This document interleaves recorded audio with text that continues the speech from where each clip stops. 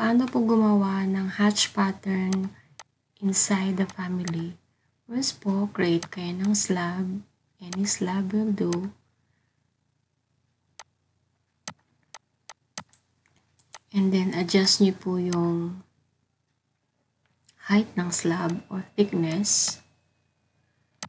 Tapos, punta po kayo sa material.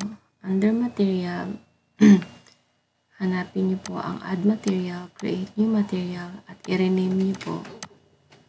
So, depende sa inyo ano ang gagawin yung name ng inyong new material.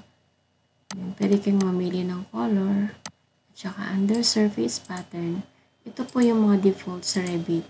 So, kung gusto niyo po magdagdag, i-duplicate nyo ang isa doon.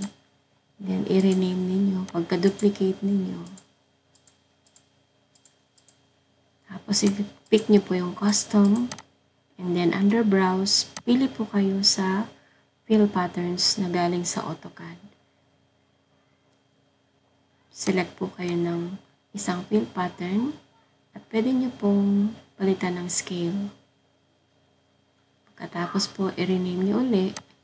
So, kung ito ay concrete, lagay nyo po yung concrete.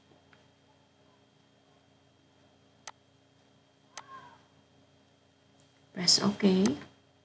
And then, andyan na po siya. Na-add na po yung fill pattern type sa family.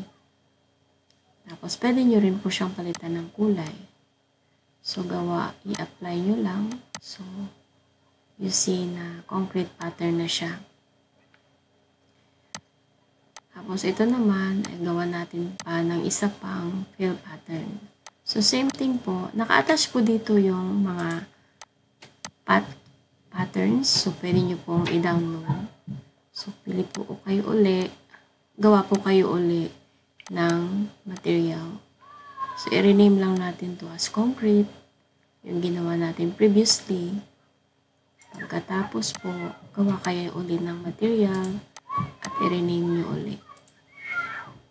So, it's up to you po kung ano yung gusto nyong name ng inyong material na pwede mare-remember nyo. So, ulit, i-duplicate nyo lang anything from here, existing, duplicate nyo, and i-rename nyo.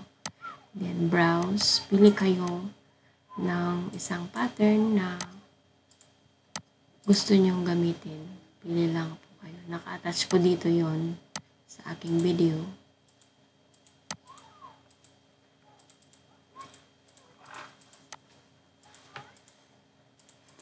So, dito pili tayo ng bato-bato, mga stones.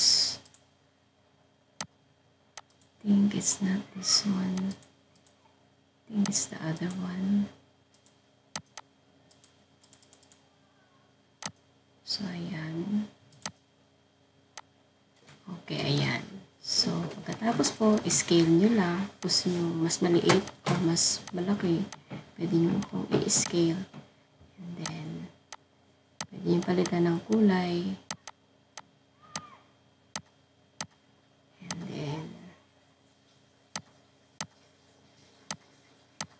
So, ayan na po siya.